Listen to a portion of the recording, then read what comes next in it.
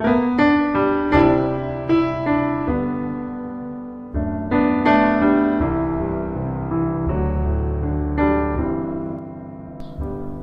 are listening to Second Chance Ministry Radio.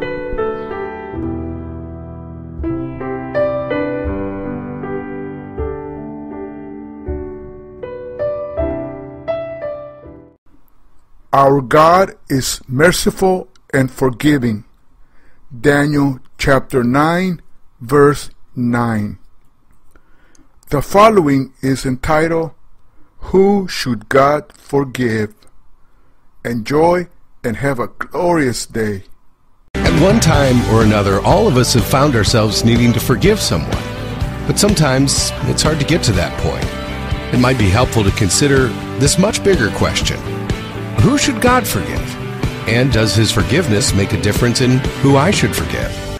You know, there was a day when Jesus wanted to pass through Samaria on his way to Jerusalem, and the people there were less than hospitable and wouldn't make a place for Jesus. And the Bible tells us that James and John, who were, by the way, called the sons of thunder by Jesus, and that sort of tells you that they were more than just a little hot-headed and less than merciful. The Bible says that James and John were instantly offended and said something like this, Hey Jesus, you don't have to put up with this. You want us to call down fire from heaven to burn them up?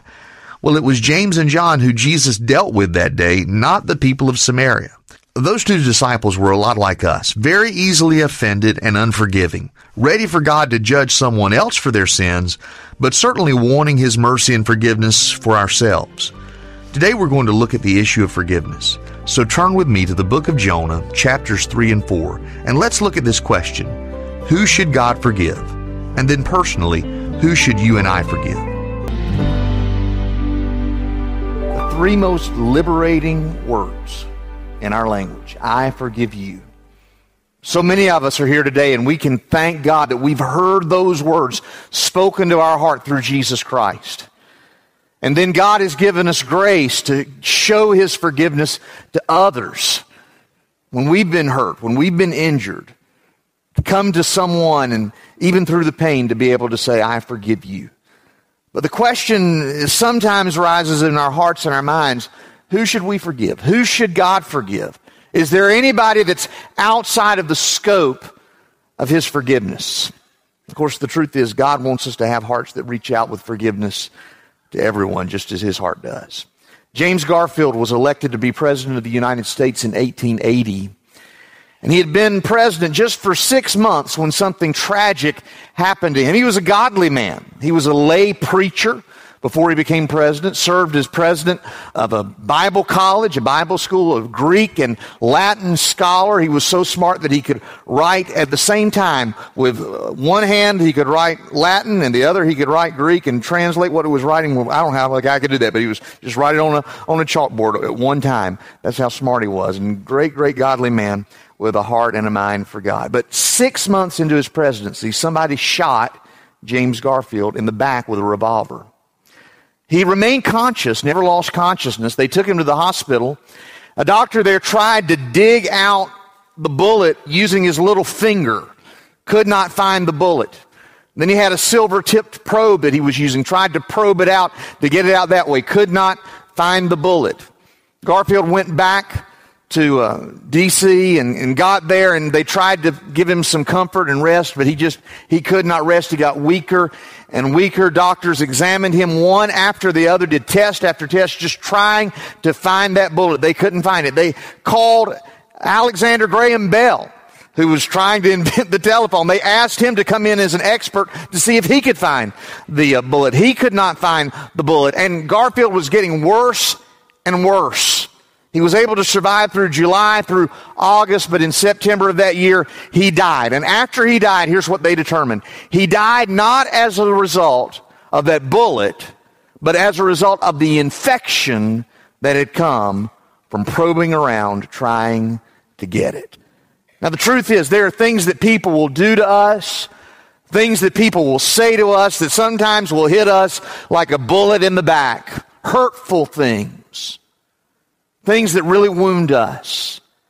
But the truth is this when we hold on to unforgiveness and resentment in our hearts, it can poison and infect us spiritually even more than the injury or the wound that someone else has done to us. That's why it's so important for us as followers of Jesus Christ to have forgiving spirits that reach out to people with a heart of restoration and forgiveness. That's God's heart, and we see that today in the book of Jonah. So take your Bibles and look with me in Jonah chapters 3 and 4 as we ask the question, who should God forgive? We're going to read the first four verses of Jonah chapter 3 together, but then keep your Bibles open because throughout this message, I'll be walking you through both of these chapters as we finish up the book of Jonah. Look what the Bible says in verse 1 of Jonah chapter 3. Then the word of the Lord came to Jonah the second time. Let's just stop right there. The word of the Lord came to Jonah the second time. Look back up in verse 1 of chapter 1 and notice what it says there. Now the word of the Lord came to Jonah.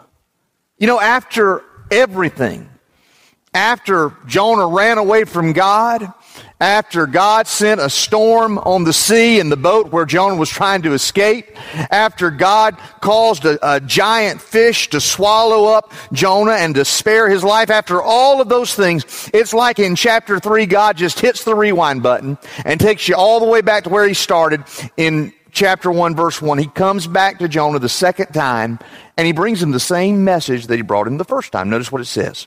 He came to Jonah the second time saying, Arise Go to Nineveh, that great city. Call out against it the message that I tell you. So Jonah arose and went to Nineveh, according to the word of the Lord. Now Nineveh was an exceedingly great city, three days' journey in breadth. Jonah began to go into the city, going a day's journey, and he called out, Yet forty days, and Nineveh shall be overthrown. This is the word of God. Will you join with me as we pray? Lord God, I pray that you would move me out of the way and that you would speak.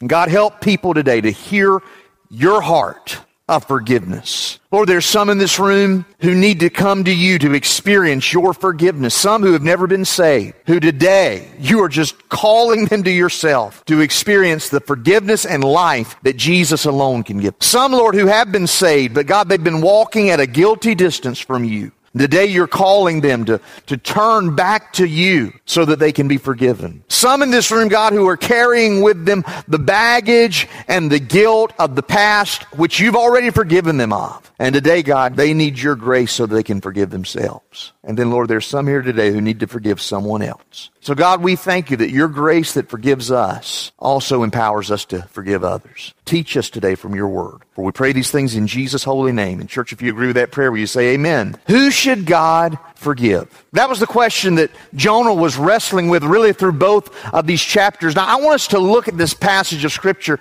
And as we do, I want you to think with me about four things. Four things that happened in these chapters. First of all, think with me about the message Jonah delivered. The message that Jonah delivered. The Bible says that, that God came to Jonah a second time and sent him back to Nineveh. And this time, Jonah obeyed God and delivered the message. Now, as we think about missions and taking the gospel of Jesus Christ to the ends of the earth and to the nations, I'm reminded the book of Jonah is a missionary book. Jonah, in, in, in a way that really no other prophet was, was a missionary prophet. He was not sent to Israel. He was not sent to Judah as most of the prophets were. He was sent far away, 550 miles away to the Assyrian capital of Nineveh. He was a foreign missionary sent out by God. And Nineveh was far. It was far from Israel, but more than that, it was far from God. The people were terribly wicked. And, and so God sent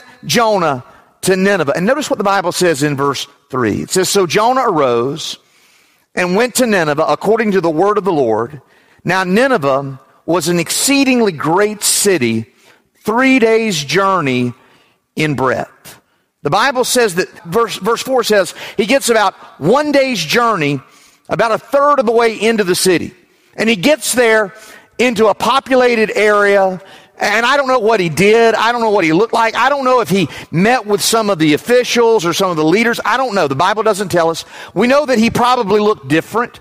Some people have speculated that his skin would have been bleached as a result of the Mediterranean cruise he had just been on in the gastrointestinal system of a great fish. I don't know if he looked different. We don't know. But certainly his language would have been different and his clothing as a Hebrew would have been different. But he gets a day's journey into the city and he begins to preach the message. Now, in English, it's eight words in my Bible. In Hebrew, it's five words. But the message is this Yet 40 days and Nineveh shall be overthrown. In 40 days, he said, God is going to overthrow this city. The word overthrow means to destroy or demolish. And I can see him all throughout the area showing up and warning the people of God's judgment. I can see him standing out in front of the West Nineveh Starbucks with a cafe latte in his hand. And as young Ninevite millennials are coming out of the Starbucks, he's saying, Yet 33 days and Nineveh shall be overthrown. I can see him out on the sidewalk of the Nineveh Publix on a Saturday morning and he's there and people think that he's just one of these guys trying to raise money for his kids' little league team so that they can go wherever they're playing. They're always there in front of Publix on Saturday mornings. Anyway, and so he, he's there and people are coming by with their families after grocery shopping and he's saying, yet 25 days and Nineveh shall be overthrown. I can see him rocking in a rocking chair on the front porch of the South Nineveh Cracker Barrel restaurant, talking to senior adults from Nineveh and saying, Yet nine days and Nineveh shall be overthrown. Over and over and over again, he sounded that message. And I want you to hear what this message was. It was a hard message from a loving God. God loves us enough to warn us against sin. God loves us enough not just to warn us against sin, but to warn us against sin in time for us to repent. You know, sometimes, so many times when you watch an action movie and the hero runs into the place where there's the ticking time bomb, so many times it's got like 10 seconds and it's counting down and you think he's not going to be able to make it. That's not what God did here. God didn't just give them one day. He gave them 40 days. It was a, a kind message. It was a hard message. It was a patient message. But listen to me say this. It was an urgent message. God's given us a message to proclaim. And it's the message of the gospel of Jesus Christ. It's the message that Jesus died on the cross to pay the price for sin. It's the message that Jesus rose from the grave to give eternal life. It's the message that People without Christ are dead and facing God's eternal judgment because of sin. But if they turn to Jesus, they can be saved. It's a hard message, but it's a loving message and it's an urgent message. Friends, it's an urgent message for us to share and it's an urgent message for people to hear and to obey. Some of you are here and you've been putting off God all your life. Really. You've been putting him off and you think to yourself somewhere in your heart, I've got plenty of time. No, listen, you don't know if you've got 40 days. You don't know if you've got 39 days. You don't know if you've got 10 years. You don't know if you've got five days. You don't know how long it will be until you stand face to face before the God who made you to give an account for your life. And he's going to be asking this one thing What have you done with his son, Jesus Christ? You know, the Bible tells us that God is patient. The Word of God says in 2 Peter chapter 3, verse 9, the Lord is not slow to fulfill his promise, as some count slowness, but is patient toward you, not wishing that any should perish, but that all should come to repentance. God does not wish for anyone to face eternal hell because of your sin. He's patient with you. He's not being slow. He's not being lax. He's going to keep his promise to judge the earth and to judge every person individually. But he's patient enough to give people the opportunity to turn to Jesus and to be saved. I was talking to a fireman this week, and, and he said something to me. He said, You know, he said, when I get a call to a house that's on fire, and I'm standing out in front of that house, and I'm trying to decide what I need to do. What's the best way? The, what's the best way for me to put out that fire? He said, as long as I'm standing there trying to make the decision about the best way to put out that fire, the house is still burning down. Some of you are waiting to figure out the absolute best way to share Jesus with someone, and the house is burning down. Some of you are here waiting for the best time, the appropriate time, the time when everything's going to be right in your life to come to Jesus Christ. The problem is the house is burning down. It's an urgent message that God gives, and that's the kind of message that Jonah delivered. Here, he brought an urgent message. Then, secondly, I want you to think about this. Think with me about the mercy God extended. Look in verses 5 through 10. Verses 5 through 10 tells us what happened when Jonah began to preach his message. Verse 5 says this, And the people of Nineveh believed God. They called for a fast and put on sackcloth from the greatest of them to the least of them. The word reached the king of Nineveh, and he arose from his throne, removed his robe, covered himself with sackcloth, and sat in ashes. And he issued a proclamation and published throughout Nineveh, by the decree of the king and his nobles, let neither man nor beast, herd nor flock taste anything. Let them not feed or drink water. But let man and beast be covered with sackcloth, and let them call out mightily to God. Let everyone turn from his evil ways and from the violence that is in his hands. Who knows? God may turn and relent and turn from his fierce anger so that we may not perish. The Bible says that the people of Nineveh heard the message that Jonah was proclaiming and they believed God. Eventually, the message got all the way up to the king. Now he's called the king of Nineveh here. Nineveh was the capital city of Assyria. So in all likelihood, this is the king of the whole empire of Assyria. To me, it's almost comical the way he responds. I mean, it, it, shows that he, he didn't know much about God, but he was doing everything he could do. And so he hears about it. And people out in the city are already putting on sackcloth, sort of like these burlap uh, clothing they, they were putting on. It was the clothing of, of a slave to show that they, they were servants of God. They didn't know much about God. They just knew they wanted to serve Him and not be judged by Him. And they were going without food as a way of humbling themselves before God. They were fasting before God. But the king hears about it, and the Bible says that the king and his nobles issued an edict. And I almost think about the king there talking to one of his nobles, dictating the edict about what he wanted the people to do. And he's standing there and he says, All right, I'm the king. I've heard we're facing some trouble. We need to do something different. Write this down.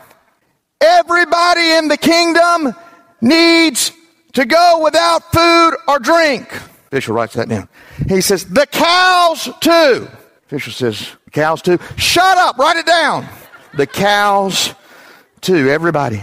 And I want everybody to put on, uh, put on sackcloth. I want everybody everywhere draped with sackcloth. The cows too. You want, you want the cows to put on, we don't even have that much burlap to put on the cows. Shut up, write it down. Now listen. He's doing everything he knows to do, even though he knows very little. He's doing everything he knows to do to get himself and his nation right with God.